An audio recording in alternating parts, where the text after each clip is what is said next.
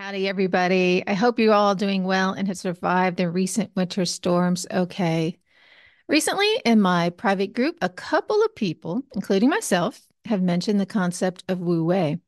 I've been in this Wu Wei zone and it's been super clarifying, productive, and peaceful. So I wanted to share this with you because that's what I do. When I experience something awesome, useful, or stunning, I want to share it in hopes that you can benefit from it too. So today I'm going to talk about what is Wu Wei, share some benefits of doing it, and give you some examples of how to recognize it when you see it and how to do it to inspire you to give it a try. Each week, I bring you tips to help you release what isn't you, allow what is you to blossom, and to understand human dynamics so that you can be the best person you can be. You're important.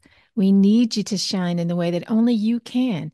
So, if this podcast helps that to happen, please consider engaging in reciprocity by writing a review on whatever platform you listen to podcasts because it tells the search engine gods to prioritize the podcast so that people can find it. Another way to help is to drop me a comment. Let me know what is helpful. I'm here to help you. And if I know what you want, I'll give you more of that. So it could be like a podcast personalized just for you, which is just about the coolest thing I can imagine. I'm sure some of you have never heard of Wu Wei, so let me start by telling you what it is. Wu Wei is a Taoist idea that means doing without doing, causing, or making.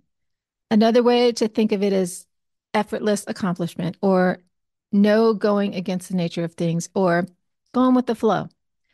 You may notice that doing without doing is very balanced in the yin and the yang it's a very wise mind way of being because it's not premeditated, but rather spontaneous. Our actions aren't plotted or planned, and yet they're effective and efficient. It's kind of a hard concept to grasp, so let me delve into what it's not. It's not simply being easygoing or lazy. There is an ease about it because it's effortless, but it also contains this idea of releasing what is non essential. And if you're like most Westerners, we carry a lot of non essential baggage that complicates our life. We've got money worries, self esteem issues, weight, family, relationships, transportation, housing, social, and spiritual things that unnecessarily plague us when most of us are already doing okay. If you look at the squirrels and the deer, they aren't running around like a chicken with their head cut off. They aren't worrying or gossiping and it's cold outside. We're not even to the halfway mark of winter yet, but they're chilling. That's what Wu Wei is really about. It's capturing the natural essence of who we are and going with that natural flow. It's trusting nature and following our own inner knowing of how to be natural. The animals are natural because they don't have emotional insecurities, big dreams, or the need to succeed they're already okay just how they are because they trust that they're a part of this big what is that holds all things together. Things move in natural cycles that come and go, and they're a part of it. So why resist?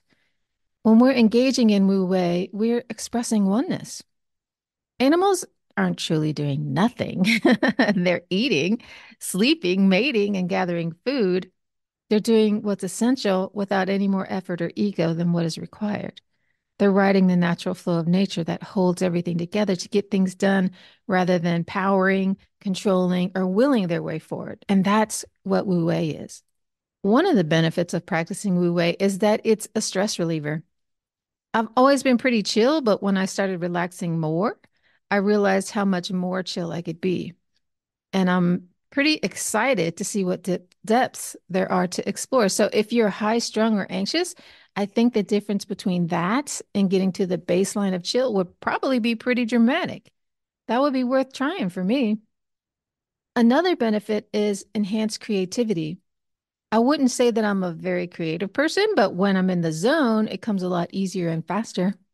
It's as if these ideas are coming from the ether and are downloaded to me rather than me thinking about it. So it's effortless. It's like there's this big power that forms and holds things together and I'm able to access it. It's the coolest thing ever. Another thing that happens when I'm doing without doing is that I'm more efficient. I can get caught up in hurrying, multitasking, and not taking breaks like anyone else. and doing too much because I think that it's going to help me get everything done. But when I think about it objectively, it doesn't really work. It feels better to be working harder though, because that's what people tell you to do, right? Well, it's not efficient. And I'm not sure when I switch things off, but I've been in this zone of not hurrying or stressing, and everything is getting done with more precision than before. I can breathe. I don't feel rushed. The days feel leisurely and open, like anything could happen.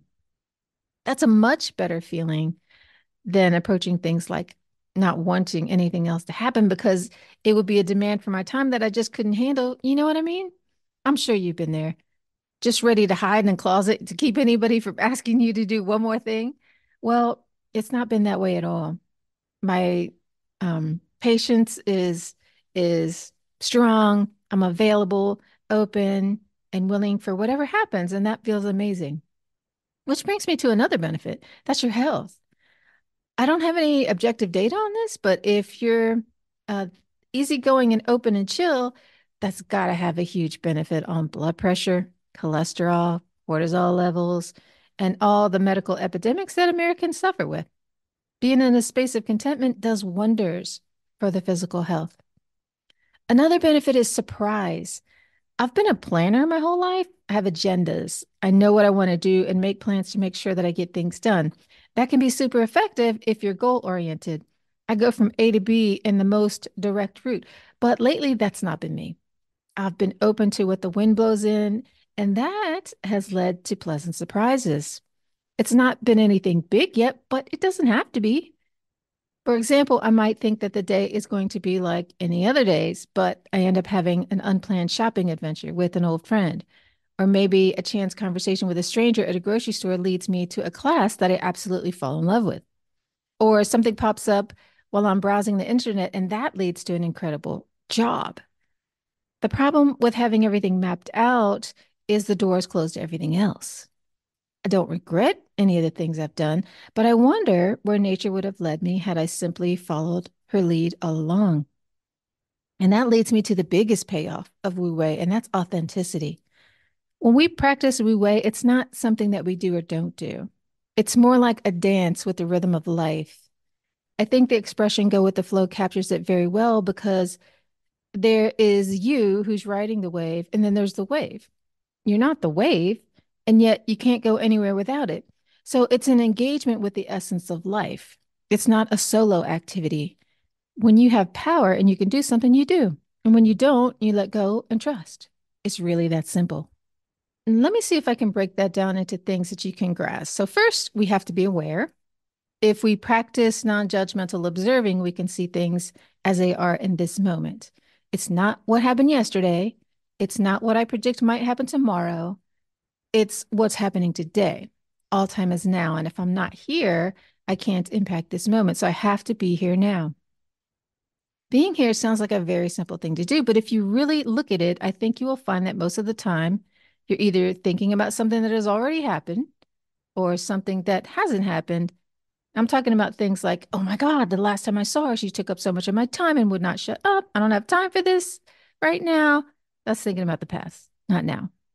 Or maybe it's more like, my boss is going to kill me if I don't get this paperwork done. I have got to stay up tonight, no matter how long it takes. Now you're projecting into the future.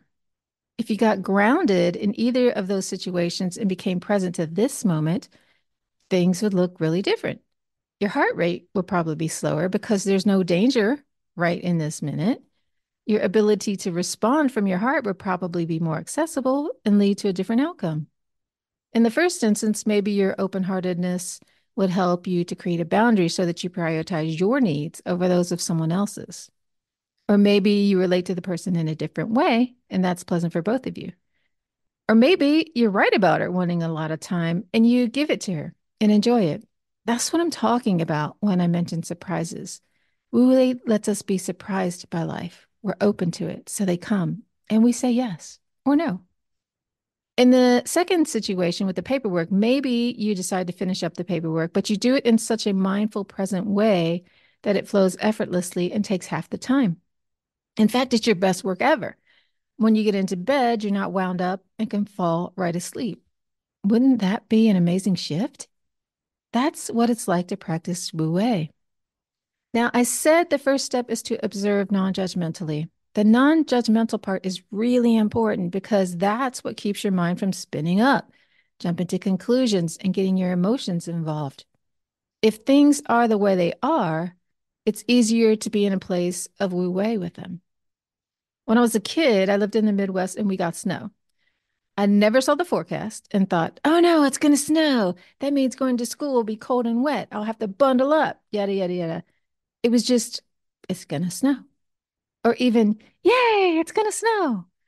There was nothing negative about it and no stories to go along with it, even though it had snowed plenty of times before. This meant that a snow day could be anything. When we get older and experience hardships and disappointments, we begin to see life through that lens. And Wu Wei takes all that away and brings you back into a childlike, magical place where everything is new and possible.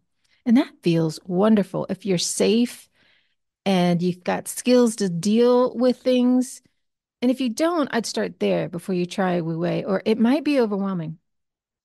Another piece of Wu Wei is releasing control. It's reflexive to tighten when you feel threatened. If you're on a roller coaster, you grip the safety bars tightly. If someone's yelling at you, you tense up your muscles. Your body is bracing for impact, and your mind is trying to stay in control.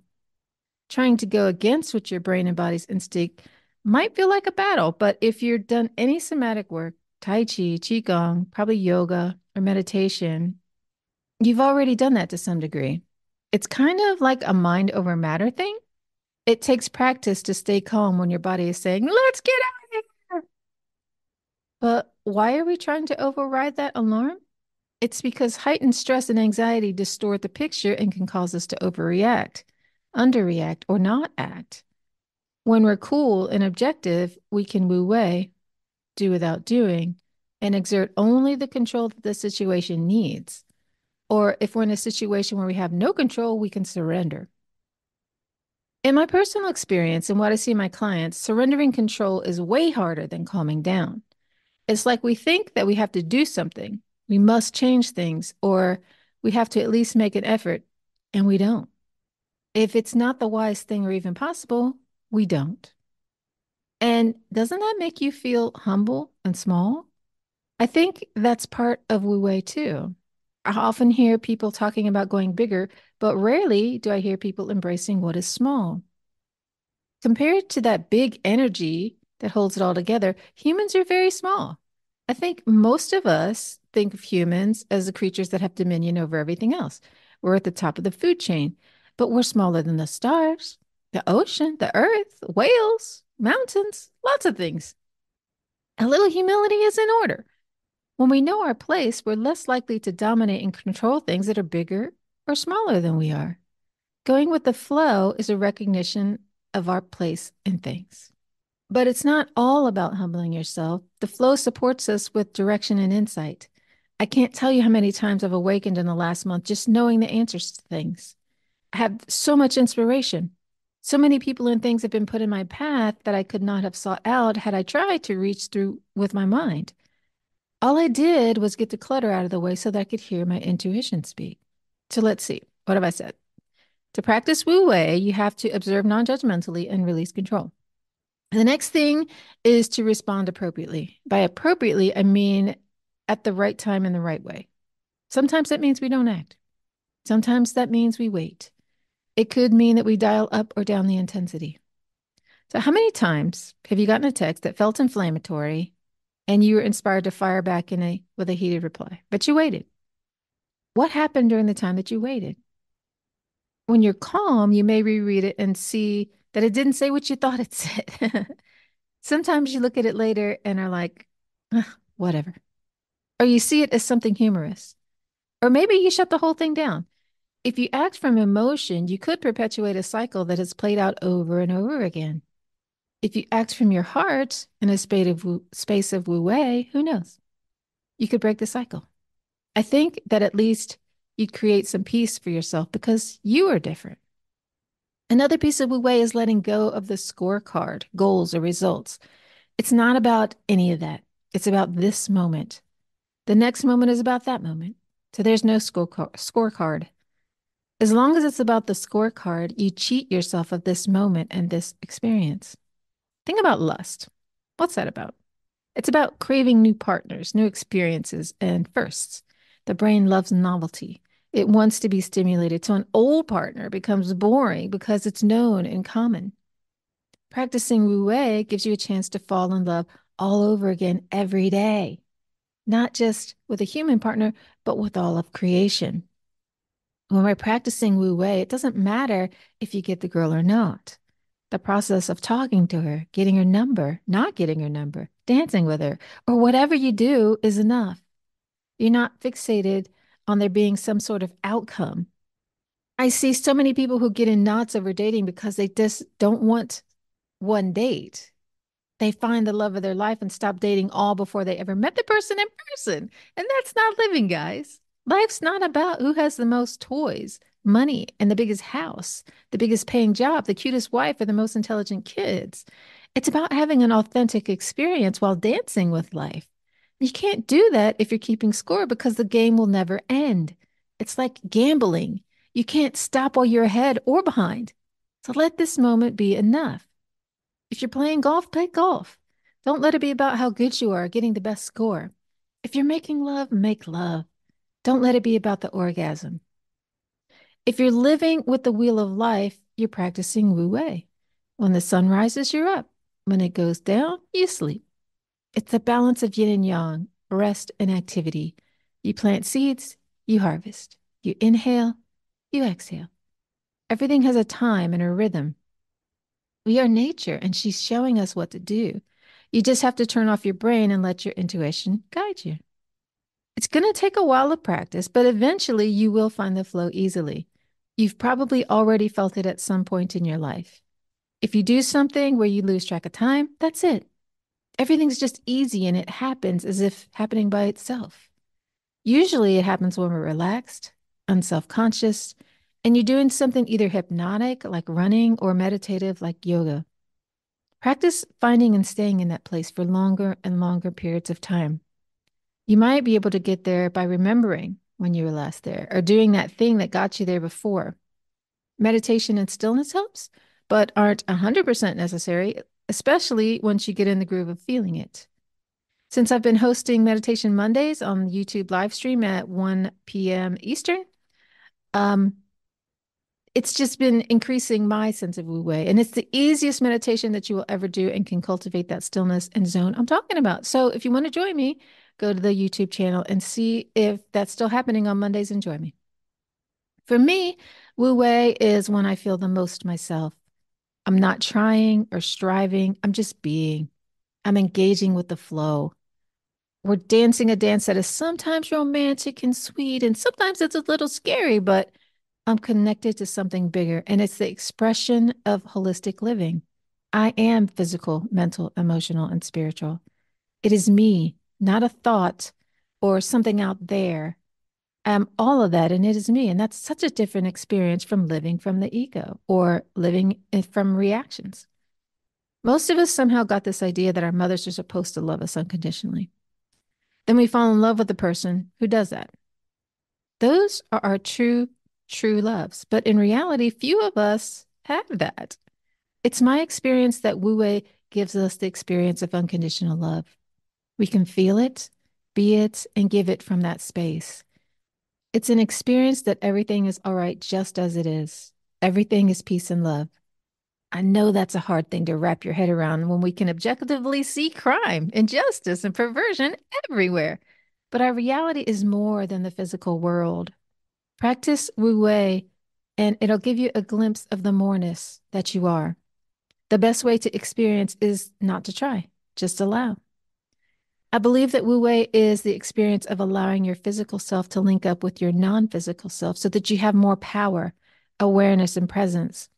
It expands you to be more of who and what you are so you're not limited to your physical senses.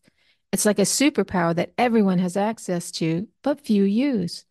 So, is it any wonder that things are easier, more peaceful, and more effective when you use it? I took old style martial arts, which is where you use energy to make things happen rather than using muscle it's exactly that.